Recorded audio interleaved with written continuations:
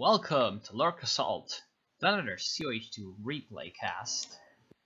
And this time, we're gonna be reviewing a replay sent in by Fives, if I can find them. Where the fuck are you? Okay, you're over here. So, Fives playing as USF on Lorch Assault 4v4. Uh, his allies are gonna be easy, playing as the AI. So, the AI playing as the British. Uh, Flakman playing as the British. I recognize you. Uh, he was in the other replay that Five sent, so I'm guessing they're friends. And Sevi playing as the Soviets. Uh, on the enemy team, we're gonna have the GOTF or GOTF or GOTF, whatever the fuck clan, the GOAT clan, uh, playing as Wehrmacht Major, uh, Ankalgon, Wehrmacht, Canastico of the Nothing clan, playing as Wehrmacht, and Lagmaster J playing as the Wehrmacht. All Wehrmacht. Okay, wasn't expecting that. I was actually not paying that much attention in the loading screen. So, okay, so I'm really, really pissed because of three reasons. Okay, actually no, yeah, no, three reasons. First, Relic is releasing a patch tomorrow, it seems. So I must record something like seven replays uh, of backlog before they pretty much smash my and someone is fucking... Oh my god, someone rang the door. Oh my god. So, I'm now pissed because of five reasons. Because, well, okay. Someone decided... So, I'm... That it was just such a good idea to ring my bell. Okay, first reason. That was, that was first reasons. Uh, I rang my bell in the middle of a cast. Okay, so that was my first reason to be pissed. Second reason. Relic is releasing a patch uh, tomorrow, and I have to cast all the replays. Third reason, uh, Earth had sent me a replay claiming that it was USF versus Ostheer on Crossing in the Woods, and he was playing USF. Of so of course I get into the game, and it's on Semoisky Winter, and it's a UKF versus Ostheer replay, where he's not in there. And it was a shitty replay as well, so, you know, uh, thank you Earth for making me waste about 35 minutes. Then I go, um, I go try to upload it, and I realize, oh wait, it's got no sound. So yeah, uh, that's another reason to be pissed. So that's like four. And the fifth was, um, okay, the fifth one is I fucking forgot the fifth reason I'm pissed. So yeah, talk about you know killing two birds with one stone. Um, the USF riflemen are gonna start to push up, so we're gonna finally talk a bit about the game. Uh, USF Rifleman attempting to push up in the center against the MG42. Gonna get penned in the road, but the second Rifleman squad will be able to flank because of the miss micro of the MG42, but they will actually focus the uh, the Grenadiers instead of the MG, and now they will almost lock them back into the MG's firing arc. The MG realizes that it doesn't really have anything to fear from the Riflemen, will leave them to the Grenadiers, whereas the other Rifleman squad will get pretty much mowed down by the murderous fire of the MG42. Looks like Ankalgon uh, went for three machine guns, so it looks like he will attempt to just use his allies as the mobile force, and whereas he will spam MGs. Oh, actually, everyone is spamming MGs. What the fuck is going on? So Lagmaster J is also going for MG42 spam, and he's taken up the north with pretty much all of the houses. That's very interesting.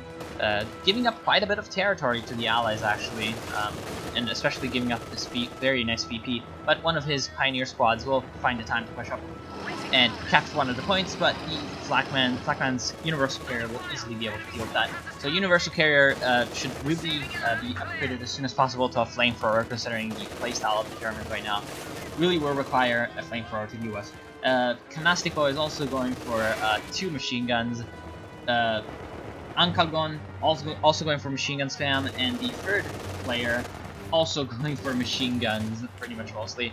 Uh, so it looks like they are going for some really interesting play because they're also going for a lot of caches. They're pretty much cashed up um, a lot of their points, and Major has enough uh, resources to cash up uh, two more points, and then he's gonna, looks like he's gonna go for Opel Blitzes. So since there's really not much uh, interesting engagements going on, it's just basically infantry running into buildings with MGs and dying. Um, let's talk about the doctrine selections a little bit. Uh, we have Assault Support Doctrine, uh, which is good because of the Tiger and the Opel Blitz.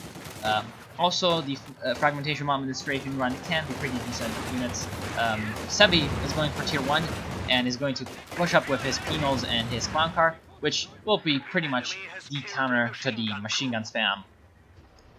Excellent, excellent choice for Sevi. Will definitely help hard counter the choices that the Germans have made. So what right now he really needs to be doing is repair his Clown Car, go around trying to cap and cap points, and he will realize the extent of the cashing up that the Germans are doing, and will easily use his uh, Penals and Scout Car to destroy whatever um, caches are around, and then he can help support his allies in the center and the north. He will definitely be key to the success of the allies. So it looks like um, Fives went for Lieutenant here, and then a Flak half Now I disagree with this because uh, the Flak half will be pretty decent against the machine guns, but uh, the Flak half is not the best unit against buildings. Uh, what I would have uh, much liked, much more liked out of him is Captain into um, Pack Howitzer into Stuart. That would definitely help out a lot in dislodging these machine guns from the buildings. So we have the Flamethrower Wasp on the uh, Universal Carrier, finally uh, gonna be able to destroy these houses. Uh, but we have some Grenadiers attempting to push up against it. We'll easily be able to hand across it, but there are some uh, intersections up here uh, which can deal some damage to the um, Grenadiers and protect the uh, Universal Carrier, but the Universal Carrier will be one-shotted by the Panzerfaust. Because of the uh, pretty much reckless play that, um, what's his name, Flakman, decided to uh, just employ, and that was a pretty bad decision on his part, to just stand up, stand there and let the Grenadiers reach it. He could have easily kited back and pretty much saved himself a lot of trouble. So Grenadiers are already pushing up in the center against the forward assembly of the AI. So that's going to be interesting. The AI has gone for three uh, infantry sections and upgraded them. He's also gone for bolster infantry squads, uh, which is very interesting. Um, also, a universal carrier is being built by him, which is a very late universal carrier. Let's not waste too much time on the AI. Major already has a Scout Car, but the mine placed by, uh, wisely placed by Sevi will easily destroy the engine and almost one-shot the um, Scout Carp, so the M3 will easily be able to finish it off. And it will also be able to finish off this machine gun, uh, probably, which was recruited by Pioneers, it looks like.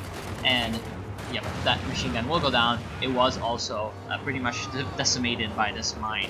So pretty good play by Sevi. Uh, sorry for the little uh, interruption there. Uh, pretty good play by Sevi.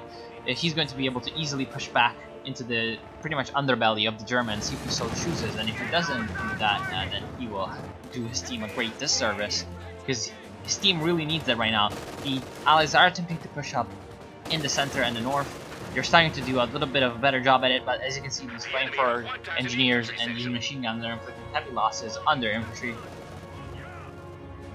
Lagmaster J went for Festung support doctrine, which is an excellent choice in team games because of the howitzer and the relief infantry, and also in the early game, the mortar half track is a pretty good decision to clear out buildings such as these um, and emplacements such as this mortar pit. Uh, but the mortar pit looks like it's in already a lot of trouble because of these panzer trucks that are attempting to destroy it.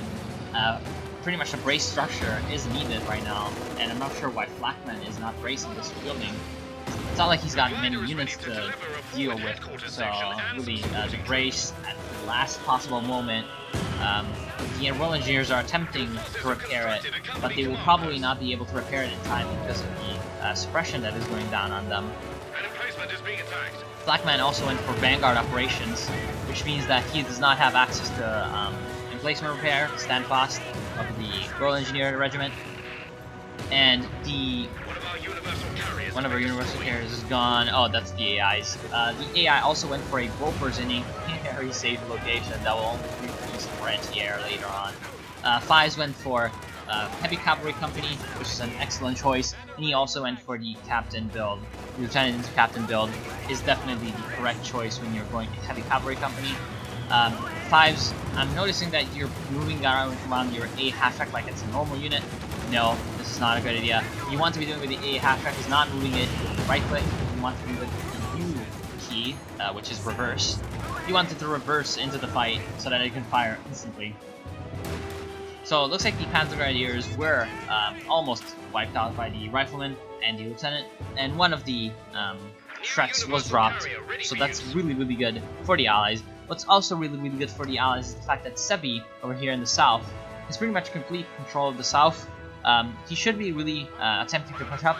He would find pretty much nothing over here. There's like a supply base over here almost. There's an officer, a truck, and two engineers just sitting around. He could easily push up against them with these penals and pretty much wipe out this entire group of units. We already have an Ostwind on the way for Major. That's a very fast Ostwind. So that will definitely give Sevi a few um, pauses.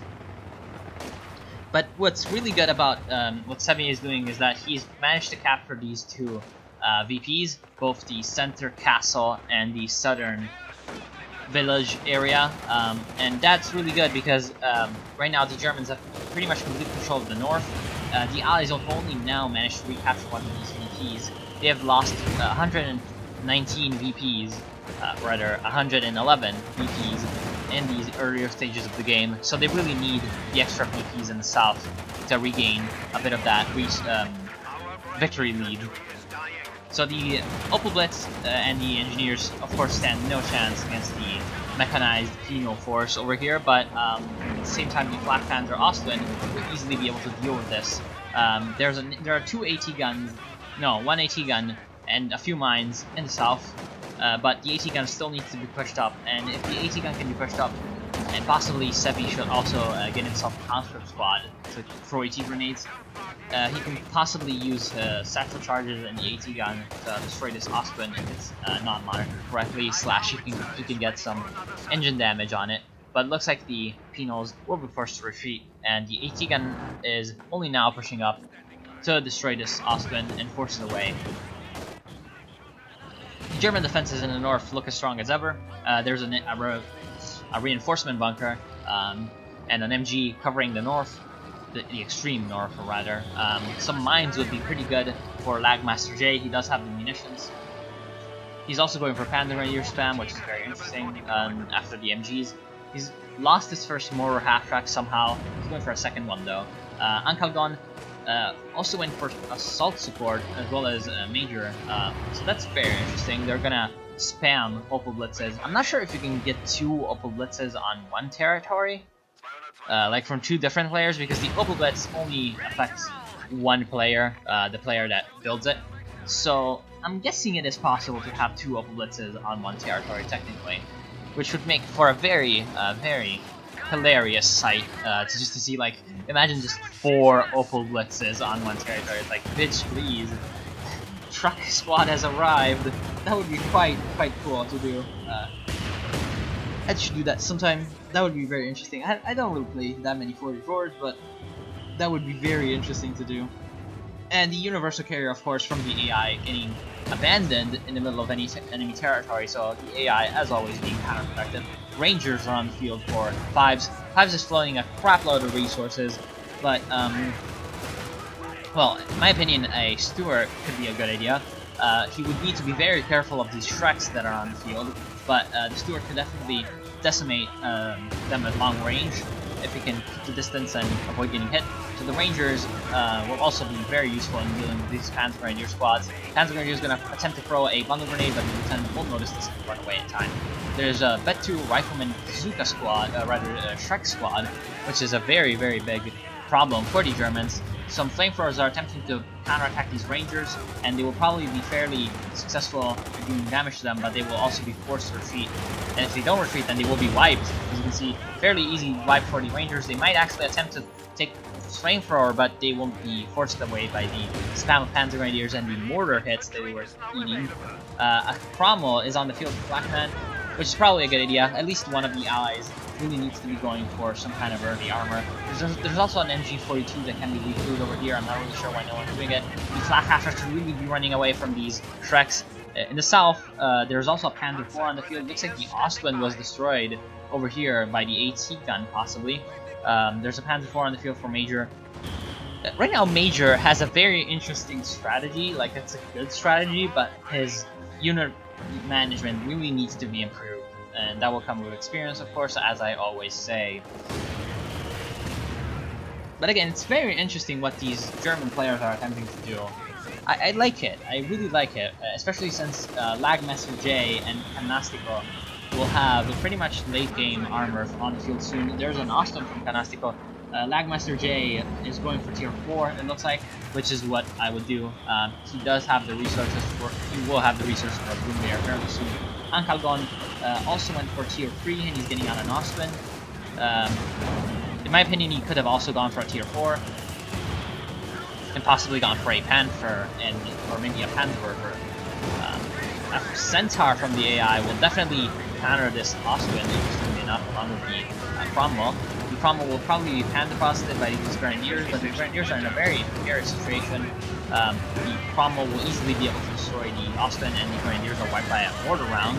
Cromwell is in very big jeopardy though from these Panther threats and he will be forced to retreat. There's a Pak attempting to push up and duel with the Cromwell at close range, which is not exactly the best idea. Another splendid Cromwell is on the field for Blackman, who's also got two mortars and pretty much it. Uh, he's got one Royal Engineer, two Cromwells and two mortars, which is a very flimsy force. But um, he might be able to get some more Royal Engineers soon. An excellent mine from the Germans will uh, pretty much destroy the uh, Centaur AE tank, along with a wall and pretty much an entire Grenadier squad. And also the Germans are very lucky to have not lost more in that. So it looks like a strafing run is being called down in the south by Major.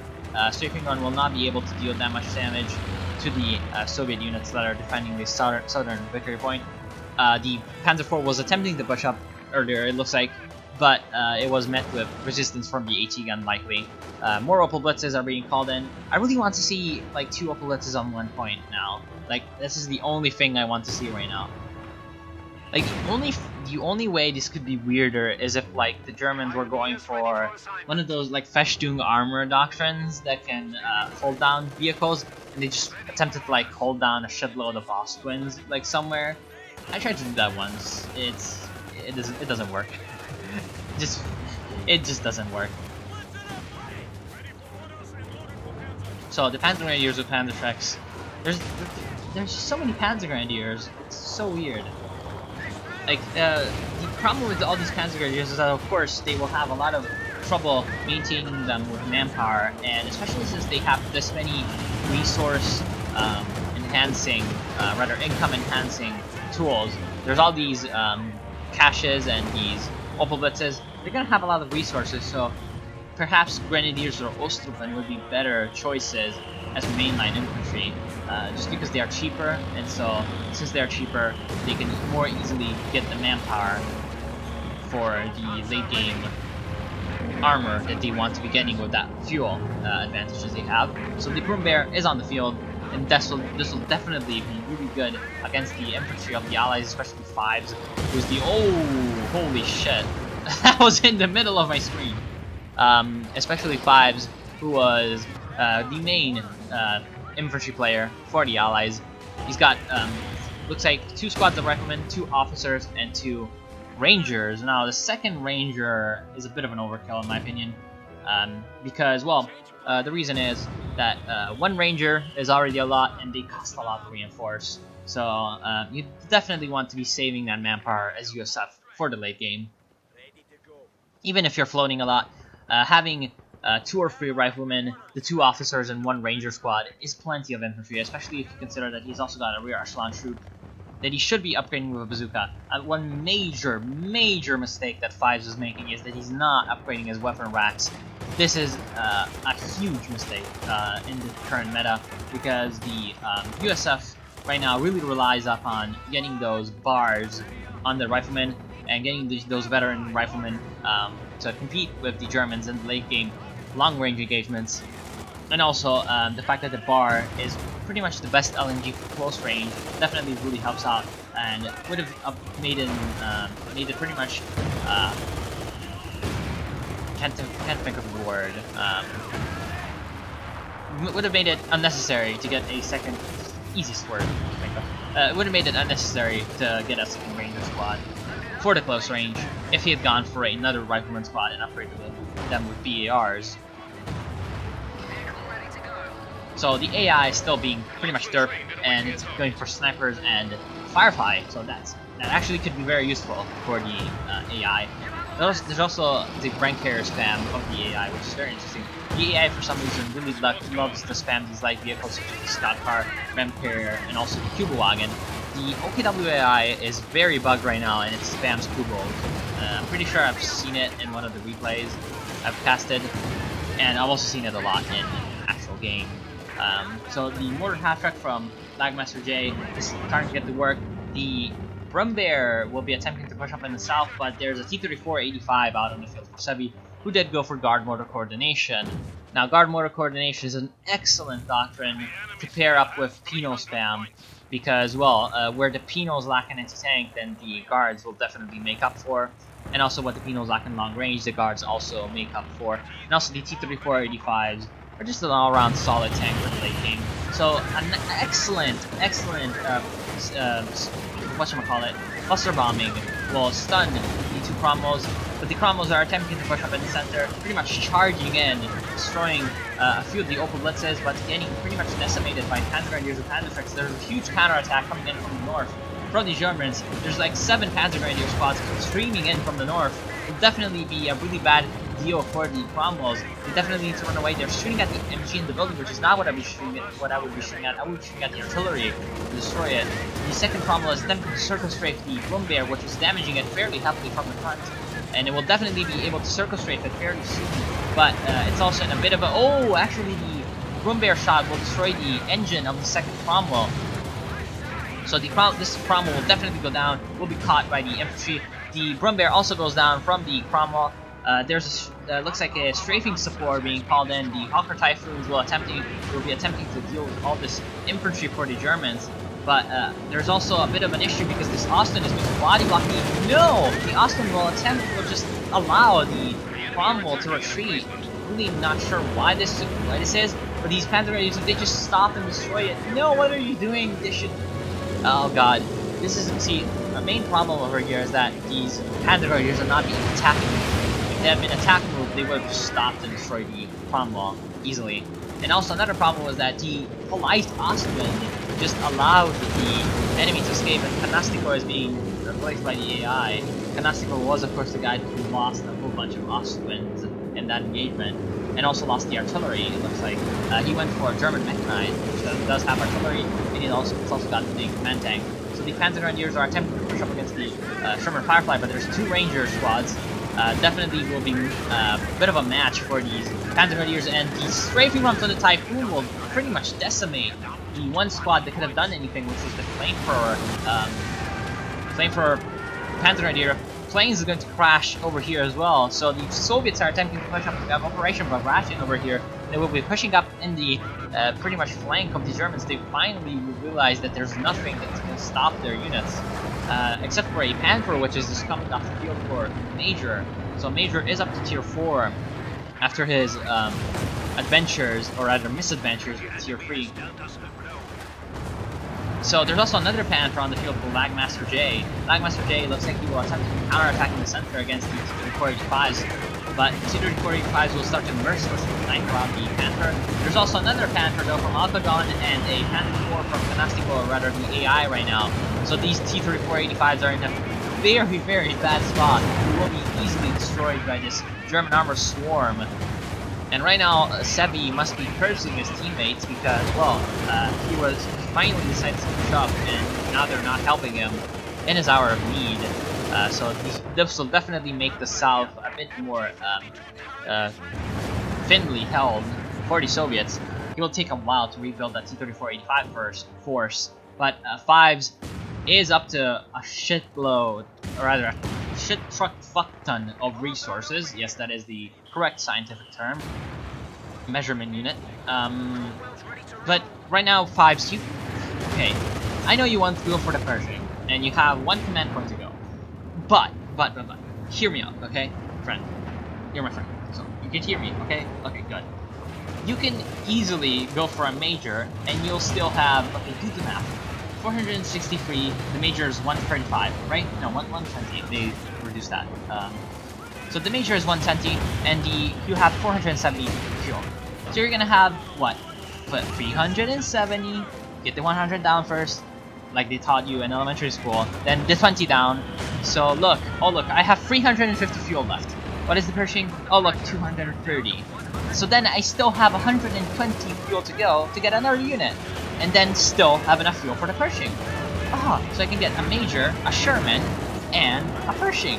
Oh my god, or maybe even a Jackson if I want. What is this magic? Maths. That's maths. You can do it in-game, because, well, you're not even fighting at this point. It's pretty much all your allies fighting, and they're pretty much just wasting their units. So you can easily do a bit of math and get a much stronger force than you can have right now. You would have a much more mobile, much more complete force if you had gone for a Jackson or a Sherman along with your Pershing. It's kind of like if I can have five, uh, I don't know, cookies, why would I get two cookies? If I have enough money for five cookies, why just not get two cookies, you know? Um, or rather, that, that doesn't make any sense. Why not, why not get five cookies? That's like stupid. Um, we have a strafing support being called in by Blackman, who's lost all of his cromwells again, um, but he still got one, it's bet one, uh, rather bet two fairly soon once he destroys his half track from the AI. Um, the strafing support was a bit premature, there's pretty much nothing that it can hit. Um, so while I was talking shit, um, the Germans decided to go, to go for, um, how did they lose all their vehicles? But like, how is this even possible? Okay, so uh, Ankalgan looks like the only guy who still got a bit of wits. It has two Panthers on the field. It is going to pretty much flank these um, Cromwells and destroy the last one. Uh, I'm guessing it was the AT gun plus the airstrikes that have destroyed the... Yeah, there's a few unmanned AT guns, so I'm guessing the Germans were just putting all their vehicles over here in the center and they just lost them all. Uh, the AI, is, it's understandable that it lost its shit. Um, Major looks like down here, he attempted to push up against the AT gun and was destroyed, possibly by a mine. But I was expecting no less from this area of the map. And Lagmaster J, I am really not certain how he lost his Panther. He had a Panther as well, and I cannot see the carcass for the life of me. Possibly this is its engine, um, or possibly it's just some barrels, I'm not sure. But this Panther is also just sitting around with pretty much no engine, and the Germans have actually lost our VPs because I was too busy talking. Yay me. Uh, so this was a really fun game to watch. Uh, Fives' Pershing is on the field and will be easily able to destroy these few units that are left. And now the um, VPs will go down mercilessly, ending the game for the Germans, putting them out of their misery. So I, I hope you enjoyed this cast, I hope you enjoyed this replay, I hope you learned something from this replay.